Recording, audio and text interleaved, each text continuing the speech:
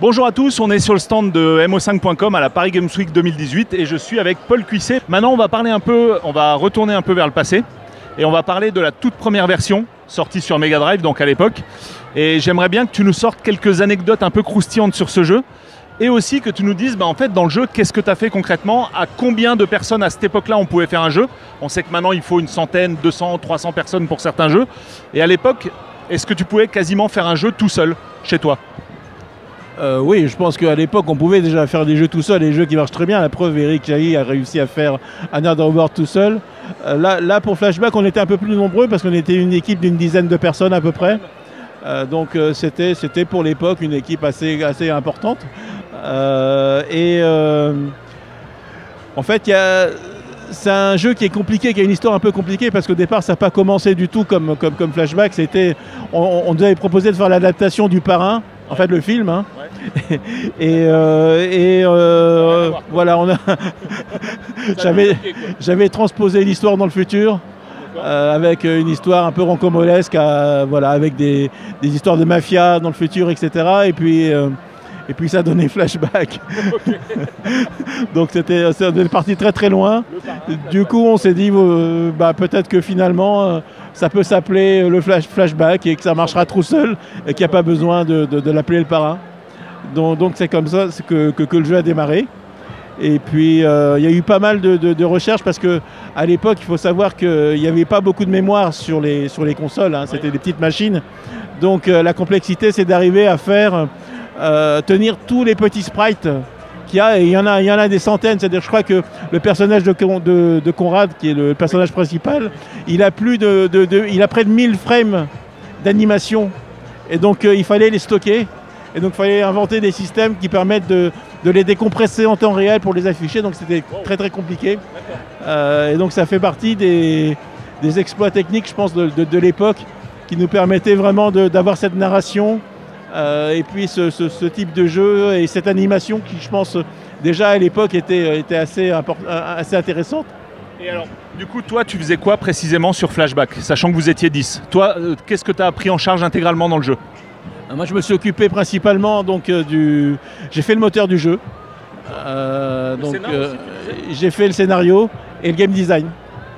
Donc, c'est moi qui ai codé tous les petits puzzles et les ennemis, etc. Donc, effectivement si, le jeu est difficile ou euh, si des fois vous m'en voulez, c'est de ma faute.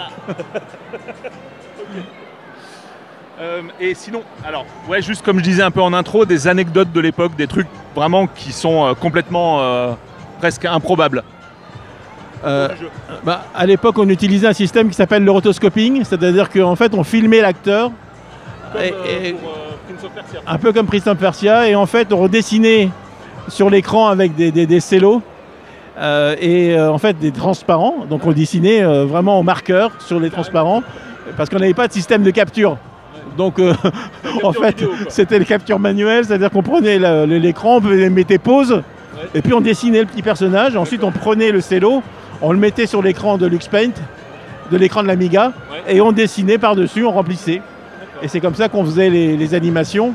Et donc pour que ce soit confortable, on avait pris un carton et euh, on avait, en fait, les graphistes utilisaient ce carton-là parce qu'ils le mettaient sur l'écran pour protéger de la lumière, parce qu'il y avait trop de lumière. Donc ça leur permettait de dessiner. Euh, de dessiner. En fait, un des graphistes s'appelait Fabrice. Euh, et, donc, en fait, on l'appelait, parce que c'est lui qui avait eu l'idée de se mettre ce carton, et on l'appelait la, machine à rotoscoper de Fabrice. Donc ça, c'est M-A-R-T-F. Et donc, si vous regardez dans un des niveaux de flashback, il y a un logo marqué M-A-R-T-F. Et donc maintenant vous savez d'où vient ce logo. Un petit easter egg, c'est bien sympa, je te remercie, c'est cool.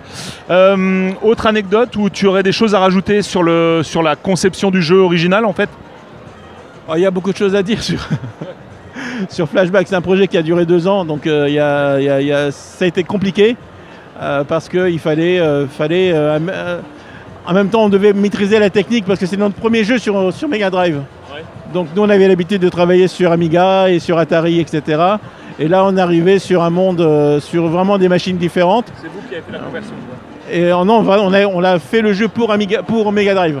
D'accord. et euh, donc, en fait, Flashback, c'est le premier jeu qui avait 24 mégabits de mémoire. C'est-à-dire que c'était énorme à l'époque. Les jeux s'arrêtaient à.